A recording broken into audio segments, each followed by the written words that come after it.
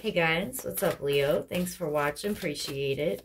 We're going to look at your day ahead for Wednesday, December 27th. See what's going on around you guys. What you need to know for your highest good. All right, Leo. So remember that the energies can be reversed. Also remember it's a general reading. So just take what's yours and leave the rest behind. If it does resonate, please make sure that you like and subscribe below. If you'd like to contact me for a personal reading, that is below as well. If you haven't uh, already, your love reading for January posted today. You can check that out. Uh, breaks down January week by week. gives you two situations for each week. Then you got the Page of Pentacles, and the King of Pentacles. This is a real, and the Five of Swords. What the hell? All right, we're going to clarify it. You've got like this energy who there could be a job opportunity, a conversation that's had. Like this is a real coming across as stable, down to earth, connected energy and then goes stubborn. Has a real stubborn side. Um, this actually we got the page of wands and the page of pentacles. This could be two energies that kind of collide. Like one could be more temperamental on one side and the other side's a little bit more hard-headed. There definitely feels like there could be some good news that's coming. Could be dealing with the earth sign taurus libra as well. Hmm.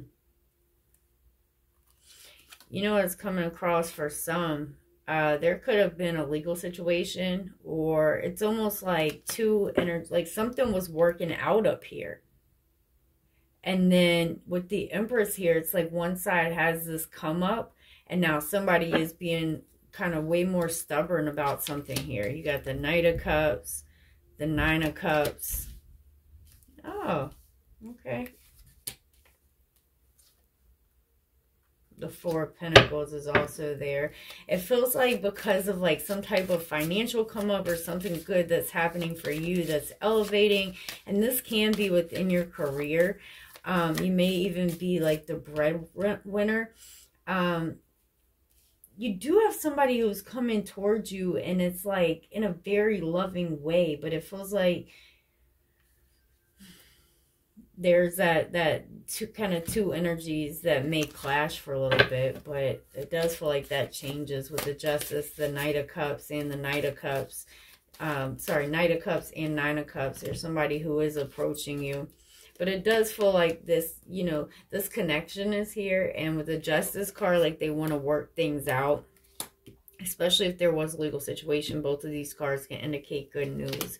But this this kind of feels like trying to work something out within like a partnership whether it's relationship or a work situation you know something where it's like it takes two to tango.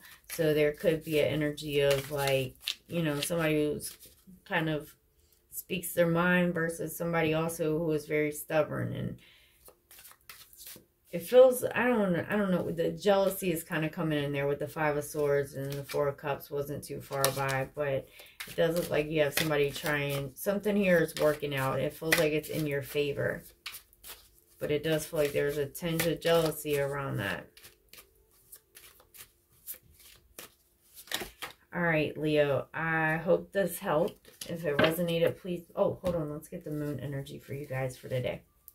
You have cat Make time to focus on your own spiritual well-being and connect to the metaphysical world around you.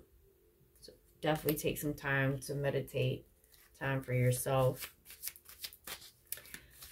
All right, Leo, I hope this helped. If it resonated, please make sure that you like and subscribe below. If you guys like to contact me for a personal reading, that is below as well. You guys take care, and I will see you next time. Bye.